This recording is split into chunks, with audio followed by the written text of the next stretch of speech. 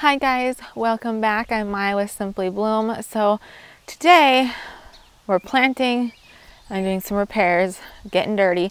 So behind me, I don't know if you saw that video, but I repaired this garden bed earlier. I do the no dig, no till method. So I was just kind of reweeding, relaying down some cardboard that I didn't do as thick of a layer as I should, added some mulch, and it's looking quite pretty. There's a couple little spots that could have used a little bit more TLC, but overall pretty good. Well, I want to do a June garden tour, but I feel like I need to fix this side before I can do a tour because I don't know, I want, you know, when you invite people over to the house, you just want things to look its best. It's not the fact that you're trying to make it look like a fake house. I hear people say that, oh, you know, your garden's fake if you put all this extra work into it right before a tour. And nah, nonsense. I just want to put my best foot forward and it needs to get done anyway. So I'm using the garden tour as motivation to get it done. So I'm going to be, um, well, let me turn you around. This is what it currently looks like. I have the creeping phlox in there. I planted that actually late last fall after I had already laid down mulch. That's why it's not included. So I'm going to bring the mulch here. And then I have an arbor that I want to put there. That's going to be the entrance of, I normally plant veggies in there. I have a tarp down right now and some plants that I wintered over that 99% did not make it. Um, so that's typically a vegetable garden in there.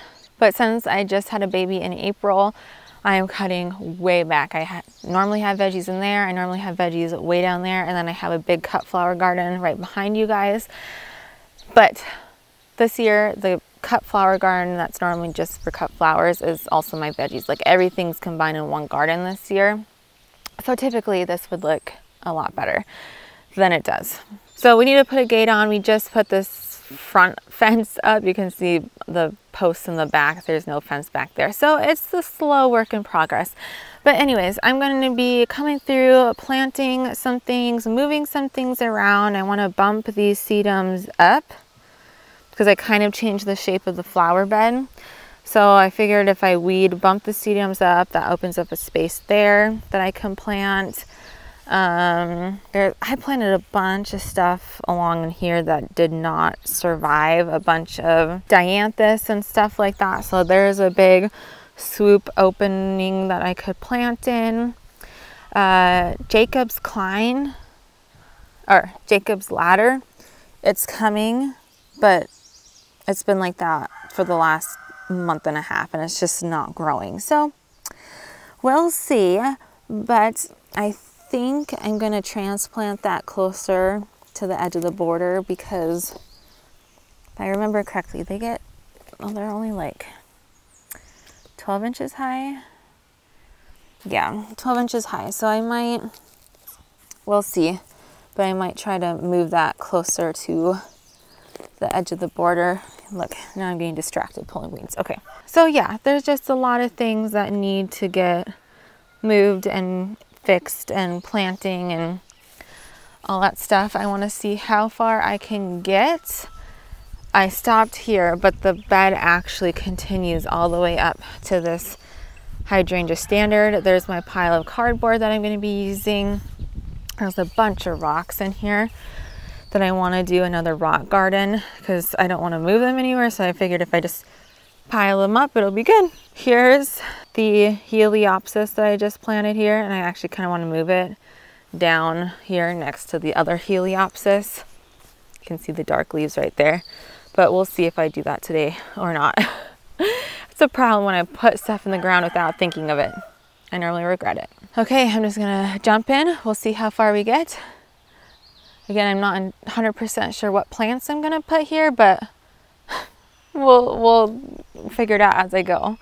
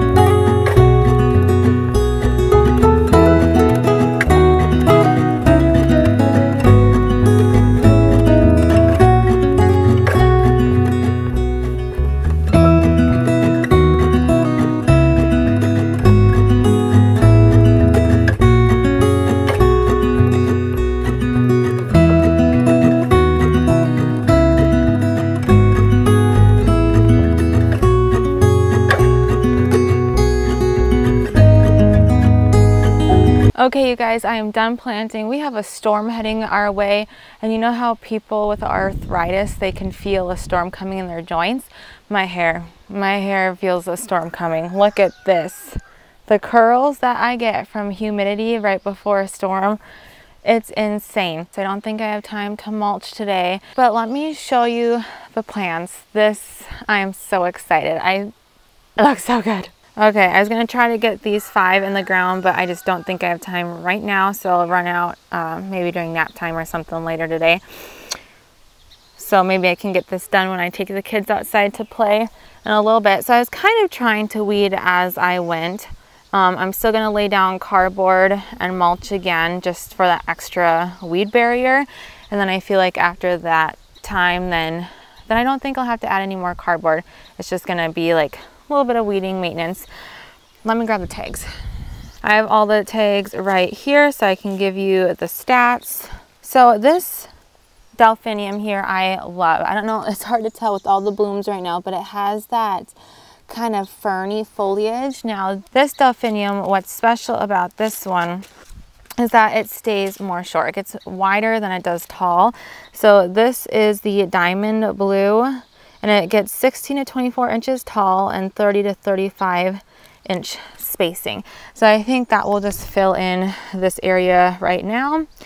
I don't know if they will be in bloom at the same time. I just bought this, so the timing's a little bit off, but all my other delphiniums are budding up right now. So I'm thinking that we'll get a little bit of blue with the lemon meringue baptisia there. So I think that will be really pretty. And then right here, these are snowdrops. Here's the tag. They are perennials and I don't think they're super common. Like I feel like you don't see these many places, but those get 18 to 24 inches tall and spaced about 18 inches apart, zone four through eight. So I planted two there. And then I have two cranesbill or hardy geraniums. Those are the Midnight Ghost. They get pretty little white flowers. They say they only get six to eight inches tall but that's over 12 inches right now. So I was really kind of struggling with where to put them because they're already taller than what they say and being out of the pot, I'm not sure how much taller. So I figured I'd do like one step in and then put a border plant in front of it. And 12 to 16 inch spacing back there. Oh gosh, that looks so messy. Maybe I'll throw a bag of mulch there real fast because I just can't handle that mess. It there was a high spot and then it dipped low. So I ripped everything out and I kind of tried to even it out and shovel the high spot down to the low. And then I just threw the cardboard on top and it looks like a disaster right now. A complete disaster. So maybe I'll have time to fix that before the kiddos fully, fully wake up. But I added two lupins and there wasn't a variety name but it starts out with this really pale yellow and then as the blooms age they turn to that kind of bright happy sunshine yellow. And I think that will fill in the space wonderfully. They said I think what was it? Like they got up to 30 inches tall 30 inches wide I believe the tag said. And then here I have two Shasta daisies Normally Shasta daisies, I feel like they're on average like zone five. So I was super excited when my husband brought these home and they're zone three through nine, but that is the White Lion Shasta daisy. They get eight to 10 inches tall and spacing 12 inches. That is just like the happiest little thing I've ever seen. And then right here, these two are actually Nepeta. When I first saw these, I thought they were Salvia, uh, my husband's not a huge fan of Nepeta. He knows how much I love it. And I don't know, it's so special when you know someone knows that you love something and even if they don't necessarily like it, they get it for you anyways. But I think he's gonna like this one a lot more because it seems more tight, more compact. But that is the Neptune large flowered catmint. Um, 10 to 14 inches tall, 8 to 12 inch spacing, zones 4 through 10. And then last thing I planted was this bearded, not bearded, yeah, bearded iris. This is the Neptune's Wine Bearded Iris, and then I have it in front of a David Austin rose. This is the Lady of Shalott. I was the most excited for this rose when I placed my order, and it's done like the worst out of all five roses. Last year barely grew. This year it's, what is that, four inches tall and all my other roses are either blooming or have buds on them and this is just chilling. chilling at four inches tall. So I think I'm gonna give this summer and honestly if it doesn't snap out of it, then it's going bye-bye. It is, it's going bye-bye. Um, and then I transplanted the Jacob's ladder here because they were where that hardy geranium is. And then I do have another one. I don't, this got hit so hard during winter. I don't actually see, I, it, it probably would pull through, but I don't want to wait for something that may or may not pull through. I don't know. That looks like a little bit of new growth down there. But my husband bought me another one of these to replace as well. What is it? It's the, oh, this is a different variety than the one that I have there. But this is the false cypress. King's Gold. Ooh, this one gets quite a bit bigger. 36 to 48 inches tall, six foot spacing. I think the one I planted was only four foot spacing. But I think that's okay because I have I have space. Oh, and I planted this. This right here is the Storm Cloud Amsonia. 24 to 30 inch is tall, 38 to 42 inch spacing. So I think even if I pop that new one in, I think it will still work out. But those get amazing blue flowers. I have two already and I have this one and one more to plant still. And I was so impressed with how long the blooms lasted. For some reason, when I think of spring blooming plants, I feel like they'll only supposed to last a week to two weeks, maybe max. This bloomed and bloomed and bloomed. I'm not even sure entirely how long it bloomed, but uh, it was over a month long. So get your hands on one of these. Did I say what the zones are? Zones four through nine.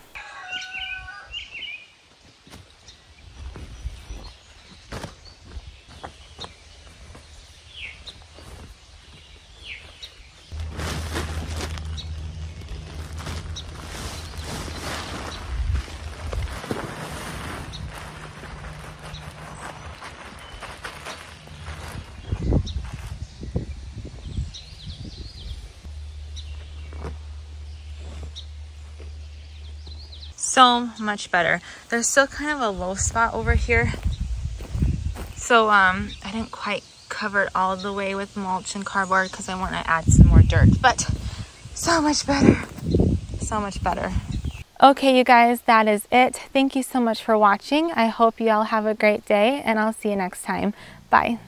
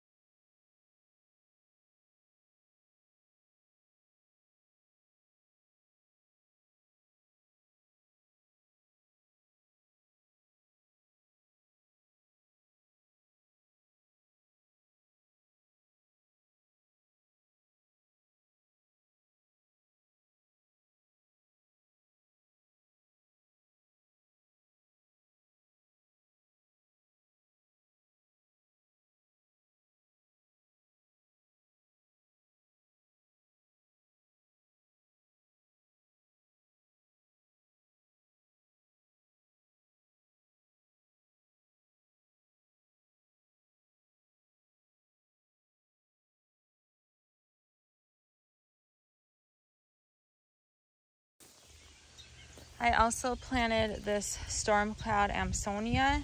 It gets 24 to 30 inches tall, uh, 38 to 42 inches wide, and zones four through nine.